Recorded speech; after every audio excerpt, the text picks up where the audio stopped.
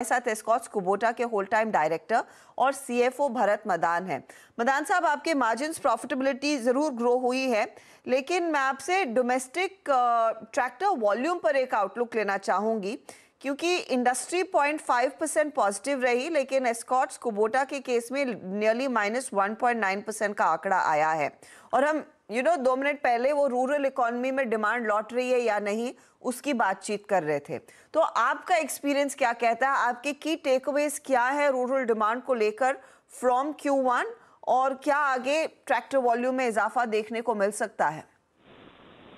Good morning I think जब rural market की बात करें तो पिछले मानसून से लेके आई थिंक तब से प्रेशर रूरल इकोनॉमी पे रहा है। तो पिछले दो तीन क्वार्टर जो है ट्रैक्टर इंडस्ट्री के लिए भी अच्छे नहीं रहे रूरल डिमांड काफ़ी प्रेशर में थी। तो इस क्वार्टर में भी ऐसा ही देखने को मिला है तो मतलब point five percent industry is as good as flat industry so really ज़्यादा ग्रोथ नहीं है, लेकिन अगर आप कंपेयर करें quarter on quarter last quarter में अठारह, उन्नीस परसेंट की डी ग्रोथ थी इंडस्ट्री में, उसके कंपैरिजन में इंडस्ट्री फ्लैट हुई है। तो थोड़ा रिकवरी सेंटीमेंट जो है रूरल मार्केट में अब दिखने शुरू हो गए हैं और जुलाई के नंबर भी मार्जिनली हायर थे। तो हमें लगता है आई अच्छे सेंटीमेंट्स हैं। अभी जो फैक्टर सारे फेवरेबल हैं रूरल मार्केट के लिए, चाहे हम उसके एमएसपी की बात करें या रेनफॉल की बात करें, जो अभी तक अच्छा है एवरेज की एक्सपेक्टेशन है इस सीज़न की। और उसके लगता है अभी सोइंग जो है पिछले साल से ज़्यादा बेटर हो रही है। तो थिंक ये सब फैक्टर पॉजिटिव हैं। तो हमें लगता है इस बार फेस्टिव सीज़न से जो डिमांड जो है काफ़ी अच्छी रिकवर करेगी और सेकेंड हाफ़ जो है डबल डिजिट ग्रोथ इंडस्ट्री दिखा सकती है। इंडस्ट्री अगर डबल डिजिट ग्रोथ रहेगी तो एस्कॉट्स कुबोटा के लिए सिचुएशन क्या रहेगी? फिर आप इंडस्ट्री के अनुमान के लिहाज से ही परफॉर्म करेंगे या फिर आपको उम्मीद है कि उसे बीट करने की गुंजाइश बन सकती है? देखिए, अगर रबी सीज़न के हमारे स्ट्रॉगर मार्केट जो है नॉर्दर्न सेंट्रल इंडिया की हैं, जिनके लिए रबी सीज़न काफ़ी इंपॉर्टेंट होता है, और सेकेंड हाफ़ जो सीज़न होगा, वो रबी सीज़न का ही होगा। तो हमें लगता है जो आखिर के दो क्वार्टर होंगे, उसमें उसकी परफॉर्मेंस आई थिंक इंडस्ट्री से बेटर हो सकती है। तो ओवरऑल अगर पूरे साल की बात करेंगे तो आई थिंक हमें लगता है कि लास्ट ईयर से तो माइडली इम्प्रूव ही होगा मार्केट शेयर हमारा। गिरने की उम्मीद नहीं है। अभी जिन स्टेट्स में थोड़ा ड्रॉप हुआ है हमारा वो स्पेसिफिकली दो जो हमारी स्ट्रॉन्ग मार्केट की स्टेट्स थी एमपी एंड बिहार जहाँ पे थोड़ा लिक्विडिटी इश्यूज़ थे। बट होपफुली अभी मानसून के बाद में वहाँ पे भी सेंटीमेंट रिवाइव होने की उम्मीद है। तो उसके बाद में आई थिंक हमारी रिकवरी पॉसिबल है। अच्छा सर मदान साहब, एक चीज़ आपसे पूछना चाहूँगा। आई मीन ग्राउंड रियलिटीज़ थोड़ी सी। क्योंकि पैसेंजर व्हीकल सेगमेंट में हमने बहुत सारी कंपनियों को प्राइस कट लेते हुए देखा गया है। एक्स्ट्रा डिस्काउंट्स देते हुए देखा गया है। क्या ट्रैक्टर में ऐसा है क्या, सर? थोड़ा सा बताएँगे मुझे और क्योंकि अब अब जिस प्रकार का मानसून है या फिर फेस्टिवल सीज़न सामने खड़ा है, वो ये स्कोप तो कम से कम कम कर देगा। ग्राउंड रियलिटीज़ क्या है, सर, इस वक्त? देखिए, अभी तक इतना एग्रेशन नहीं है, बस अभी तक जो थोड़ा कमोडिटी का प्रेशर था पिछले साल तक इन्फ्लेशन का तो आई थिंक फ़र्स्ट प्रायोरिटी थी इंडस्ट्री की कि वो प्राइस इंक्रीजेस जो कमोडिटीज के हैं।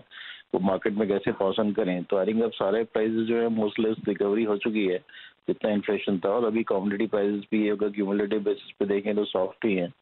तो मे बी इसकी फेस्टिव सीज़न में थोड़ा डिस्काउंटिंग प्रेशर बढ़ जाता है तो मे बी दिवाली के टाइम सितंबर अक्टूबर सीज़न में हो सकता है थोड़ा, जो नॉर्मल ट्रेंड है, कि थोड़ा डिस्काउंट ऊपर रहते हैं level compare to other months but otherwise कोई बहुत एग्रेशन बहुत ज़्यादा नहीं दिख रहा अभी इस इंडस्ट्री में लकीली हमें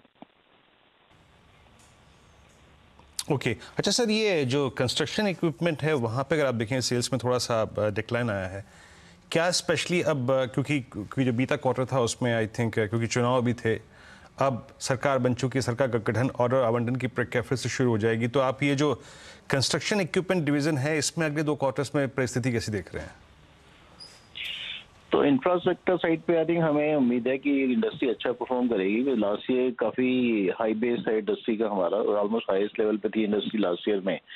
तो अभी फ़र्स्ट क्वार्टर जैसे आपने बताया बिकॉज़ ऑफ़ इलेक्शन और थोड़ा इंफ्रास्ट्रक्चर पुश इनिशियल मंथ्स में नहीं रहा गवर्नमेंट का बट अभी जो बजट के आप नंबर देखें तो कैपेक्स का प्लान उन्होंने जो इंट्रीम बजट का था, वही वाला लेवल मेंटेन किया है। तो आई थिंक उसके रहते हमें लगता है कि बैलेंस नाइन मंथ्स में डेफिनेटली ग्रोथ आने की पॉसिबिलिटी अच्छी है। तो सेकेंड हाफ़ में हमें इस इंडस्ट्री में भी डबल डिजिट ग्रोथ की उम्मीद है कि ये इंडस्ट्री दिखाएगी। और यहाँ पे अच्छा रिकवरी हो रहा है और हमें ये शॉर्ट में आई थिंक लॉन्ग टर्म भी कंस्ट्रक्शन इक्विपमेंट इंडस्ट्री हमें लगता है कि फेवरेबल रहेगी डिमांड